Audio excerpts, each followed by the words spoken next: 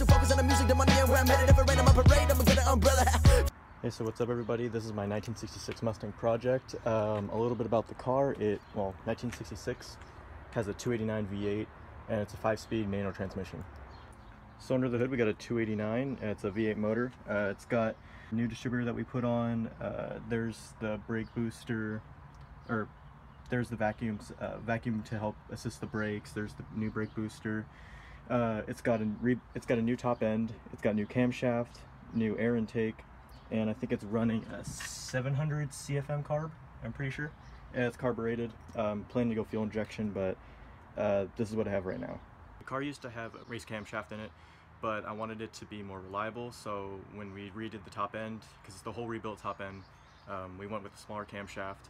It still sounds really good. Here's the interior. Uh, it's got an aftermarket GT steering wheel. It was something cheap I found at, uh, I think it was, it was either Harbor Freight or O'Reilly's. It's got a five-speed manual transmission. It was a four-speed manual originally, but it's been changed out. Uh, and yeah, this is the interior. It's actually pretty nice inside. Uh, this was done before, or this was done on the car before I got it.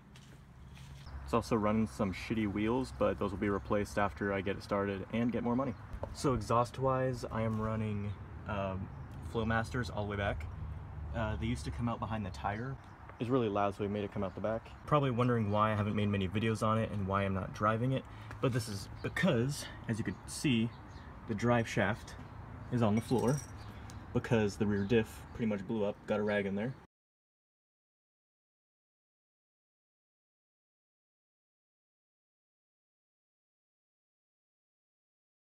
So originally I got the car back when I was 17, I'm gonna be 21, so it's been about four years when I got it, it was all primered out. There was no bodywork done to it.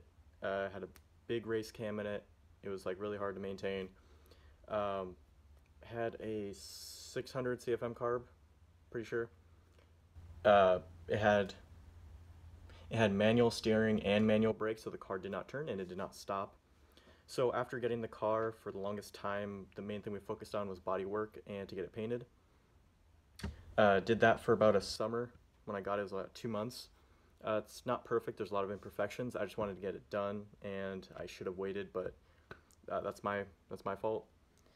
Uh, what we've done to the car is kind of like what I mentioned. So we installed power steering, we installed power brakes, uh, new brake booster.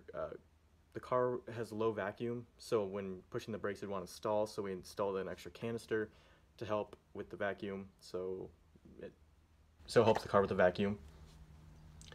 Uh, so it's got new heads with uh, better compression.